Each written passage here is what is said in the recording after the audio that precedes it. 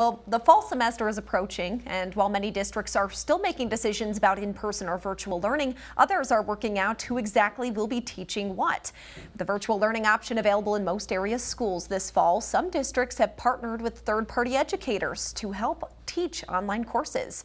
Now, one of those districts is Elk Mound, who will be working with Wisconsin Virtual School, a learning supplemental program that partners with school districts throughout Wisconsin to offer online courses to middle and high school students.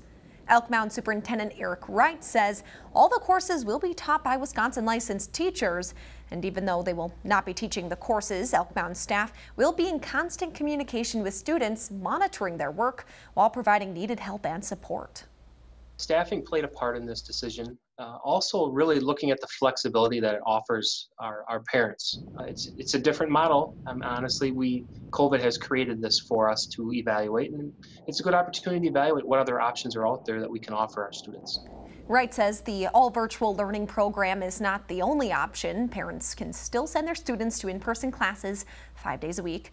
Of course, every district is choosing its own options for learning and some are still figuring out what to do.